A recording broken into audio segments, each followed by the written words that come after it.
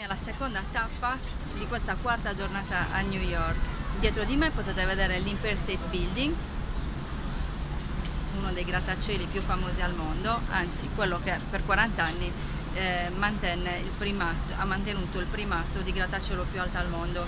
Vi aggiorno sulle condizioni meteorologiche, ha smesso di piovere, eh, è tornato il sole, è uscito il sole, adesso non si capisce bene ma sembrerebbe di nuovo voler eh, piovere. Però io nel frattempo mi sono comprato un ombrello perché non ho nessuna intenzione di rimanere ferma a New York e ho letto che è molto frequente in agosto che, che, che, che possa succedere una cosa del genere.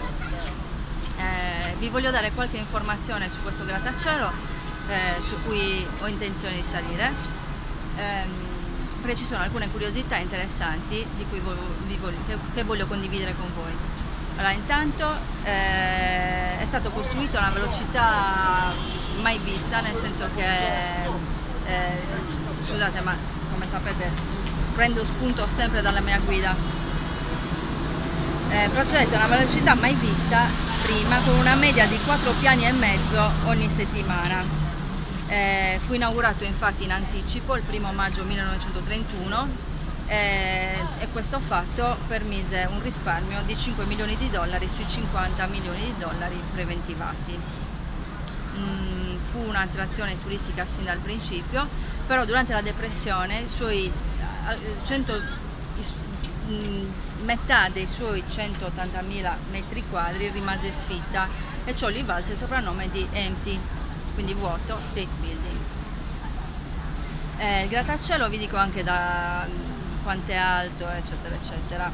Sono 102 piani per 380 metri d'altezza, 6.400 finestre e la sua base di 5 piani occupa 0,8 ettari sulla Fifth Avenue.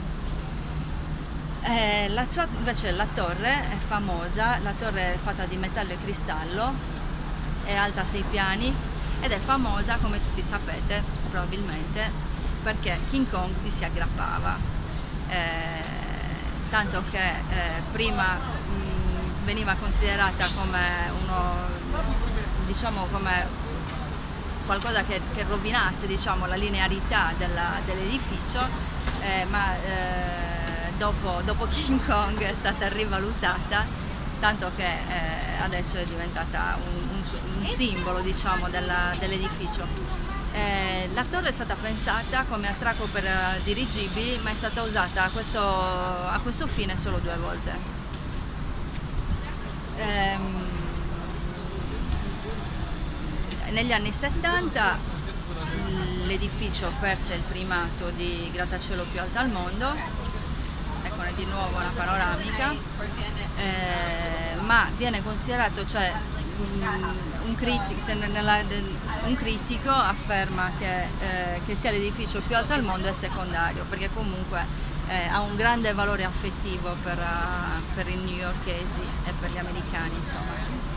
Eh, cosa vi volevo dire? Nulla, eh, adesso io cercherò di salire sul, sul grattacielo, mi hanno già fermato dei tizi qua fuori che volevano 49 dollari ma io mi sono detta che forse era un po' troppo e quindi andando avanti ho controllato su internet ho visto che costerebbe circa 30 dollari e quindi andrò a cercare un luogo dove, dove non, mi, non, mi, prendano in giro insomma.